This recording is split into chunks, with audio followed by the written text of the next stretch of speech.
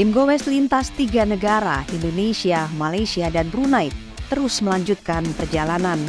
Dalam riding pertama dari Pontianak menuju Singkawang, peserta Gowes menempuh perjalanan sekitar 150 km. Pada riding kedua, tim Gowes berangkat dari Singkawang menuju Kucing dengan menempuh jarak lebih dari 200 km. Peserta melewati perbatasan Indonesia-Malaysia melalui PLBN Aruk, Kabupaten Sambas. Perjalanan pun diakui peserta lancar dan menyenangkan.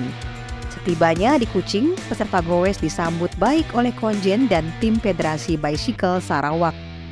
Perjalanan Gowes ketiga kemudian diteruskan dari Kucing ke Bintulu.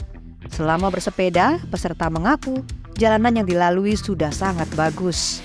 Dari Bintulu, Gowes berlanjut ke kota Miri dengan jarak lebih dari 200 km. Dari Miri, Gowes akan berlanjut hingga ke titik finish di Brunei.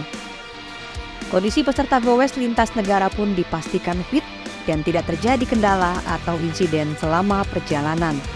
Keadaan tim kita uh, alhamdulillah lancar, apa sehat semua selamat, tidak ada eksiden apa pun, tidak ada kendala apa pun, sepeda juga cukup sehat semua, jadi uh, secara overall lancar, baik-baik, baik pengendara sepedanya ataupun sepedanya sehat semua. Ketua Umum BKTCC pun mengingatkan bagi pesepeda yang ingin goes melewati batas negara harus menyiapkan fisik dan mental dengan baik serta dokumen untuk melewati perbatasan. Setelah dari Brunei, peserta Gowes akan pulang ke Pontianak dan Jakarta. Tim Liputan Kompas TV.